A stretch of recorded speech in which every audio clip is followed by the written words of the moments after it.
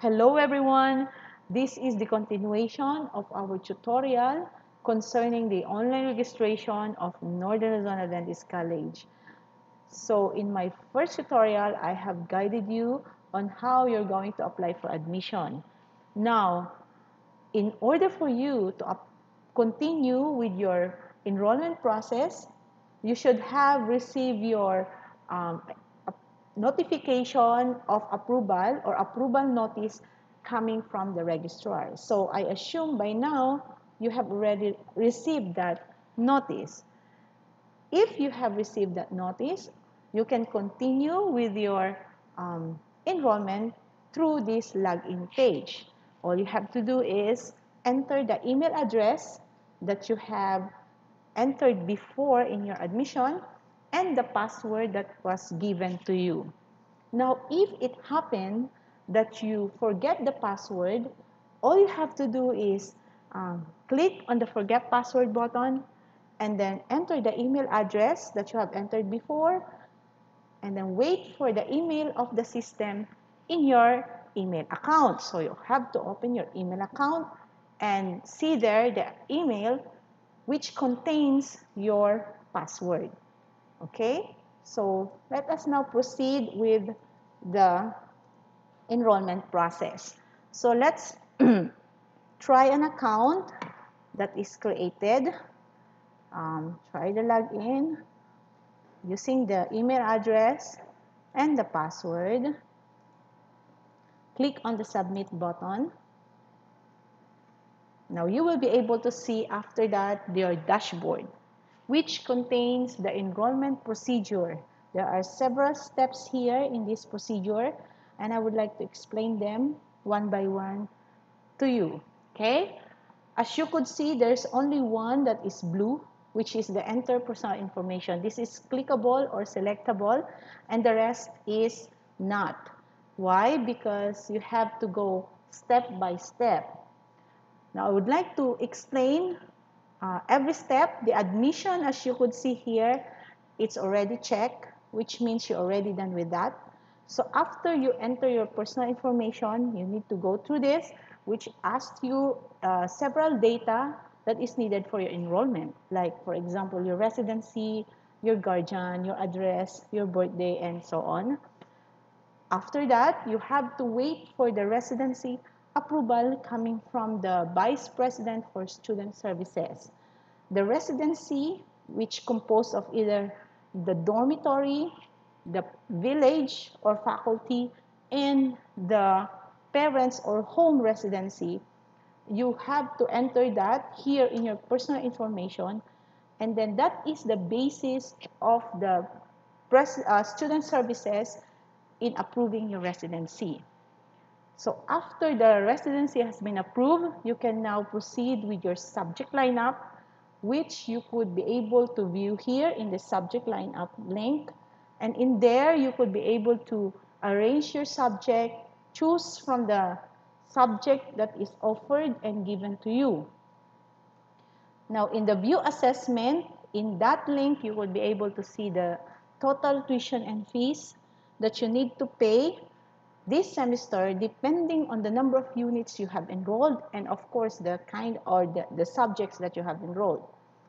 The view payment option is where you could be able to see the different options for you to pay your tuition and fee for this semester.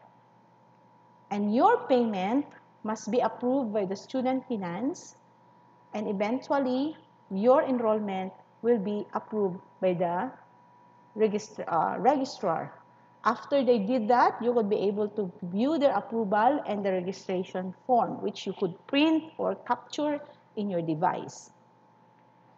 So these are the steps that you need to follow. Now, let's start from the personal information. So I'm going to enter the personal information.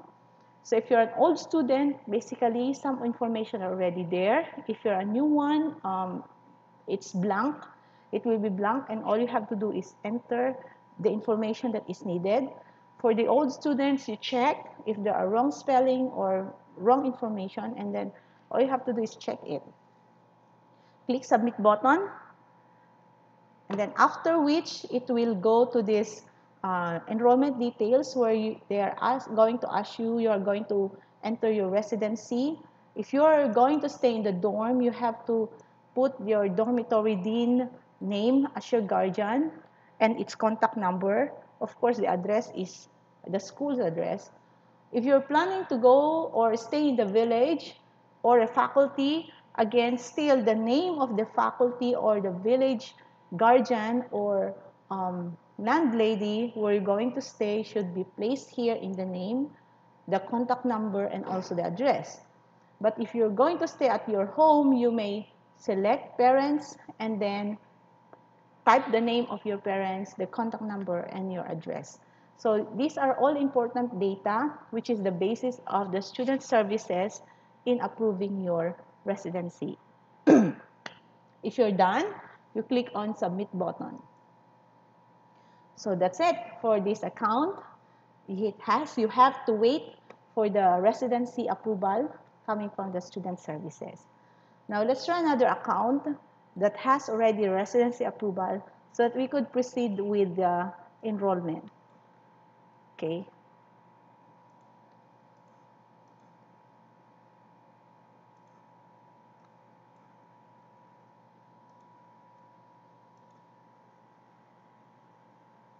Okay, so this account has already a residency approval, so you could see there it's checked already, it has already the check mark. You could view when the approval is given by clicking on it and you could see that it was approved on this particular date. So click on the OK button. Now I could proceed now with my subject lineup. So all I have to do is click on the subject lineup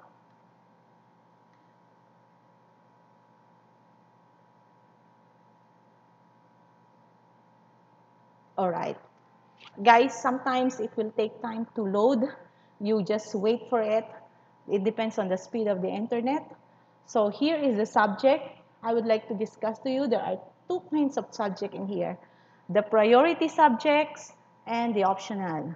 The priority subjects are mandatory. You need to take this whether you like it or not because it is needed for you this semester okay? But for the optional, you need to, uh, you can select and add it to your priority. As it was stated here, you can select subjects that could be added to your priority. So the total units here is 12. It will, uh, it means that I have only 12 units that is given to me. now, if I would like to add more units, I could select from this priority uh, this is given to you by your department head or dean. So for example, I want to take uh, understanding the self as an additional subject. So I just click on here and you see it goes to this uh, part, which is your priority subject. And again, if I'm going to select again the Christian belief, there. Now, if you don't like the subject, you just happen to change your mind, all you have to do is click on the delete icon, which represented by the trash, trash can icon there at the right side. All you have to do is click on that, and then it will be removed from your priority. That's it, how simple it is. So if you need or if you want to select the subject from your optional and add it to your priority, so you all you have to do is click on the subject. If you want to remove, just click on the delete icon. You could not remove uh, any from the first priority or from the priority subject because your department head uh, uh, emphasized that this subject you have to take it for this semester. It's only from the optional that you could select from and uh, delete. Okay.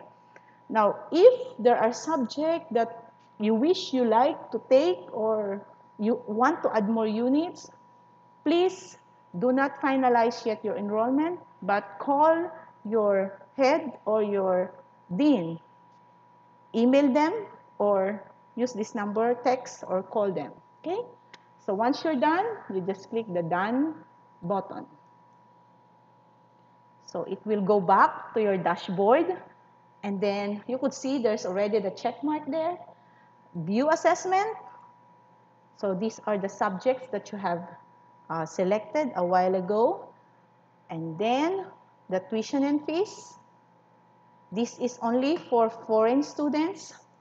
Total tuition and the 40% down payment. Now, all the details are there.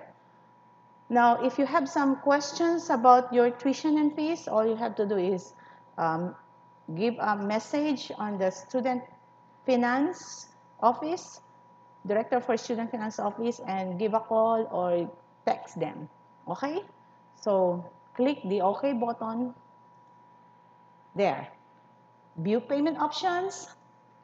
These are the options for your payment. You could pay through bank using our BPI account, Metrobank account, or you can use an electronic money transfer uh, in any electronic money transfer agency like Pera Padala, M Lhuillier, LBC, or Western Union by using uh, the name of Miss Mary Jane De Vera as the official receiver of this money transfer and these are her uh, number okay or for those who are nearby you could just have to come here in the office uh, and pay on the school cashier using on the scheduled 8 to 11 a.m. Monday to Friday.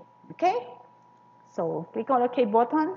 Once your payment is approved by the Director of Student Finance, you could see that this one will be blue and the official registration form will be displayed to you.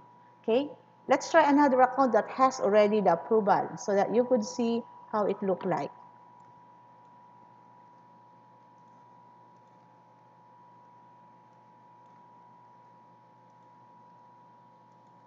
Okay. So you could see there, it's already approved by the finance. All you have to do is there. Okay, you could see there the date of approval and the amount that you have paid. In this case, I have not, uh, this account did not pay anything, so this is just an example. Click on OK. And now, uh, you will notice that the subject lineup is already disabled. Yes, of course, because the finance has already approved your payment, you are not allowed already to add more subject or delete a subject. So I am um, advising you that before you pay or before you um, give your payment, you have to finalize your subject with your department head and with the system first so that you will not be uh, adding and deleting subject later through uh, manually. Okay, so this is it for your uh, this tutorial. Again, once the registrar approved this account, you could be able to click your or view your official registration form and then print it or capture it and keep it in your device. Okay, so we hope to see you or um, have a fruitful uh, semester with you in this new normal way of education. Goodbye.